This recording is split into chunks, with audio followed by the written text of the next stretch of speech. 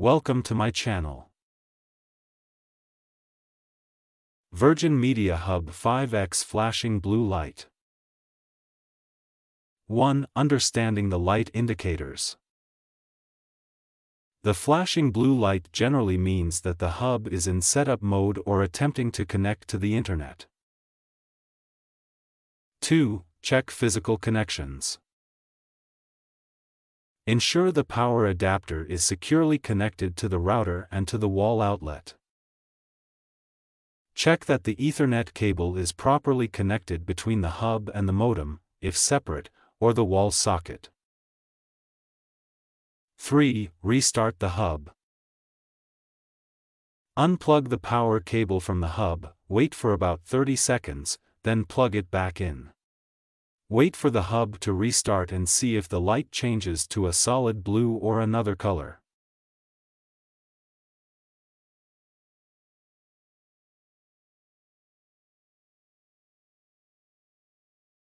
Four, verify connections and cables. Ensure that the hub is correctly connected to the modem or wall socket. If you have a separate modem, make sure the connection between the modem and hub is secure. 5. Factory Reset If the hub is still not connecting, you might need to perform a factory reset. Locate the reset button on the hub, usually a small pinhole. 6. Reconfigure the hub. After a factory reset, you will need to reconfigure your hub.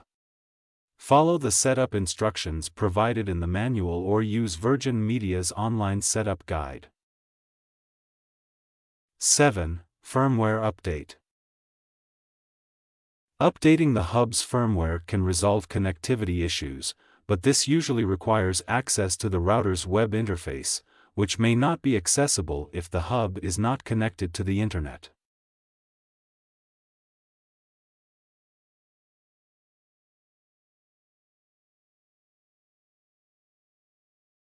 Thank you for watching.